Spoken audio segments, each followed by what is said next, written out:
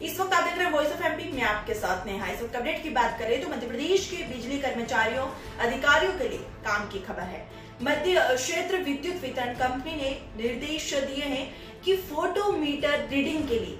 Meter reader का उपभोक्ता परिसर में जाना अनिवार्य है और अब आंकलित खपत नहीं भर सकेंगे ऐसा अगर पाया गया तो संबंधित के खिलाफ कार्रवाई की जाएगी।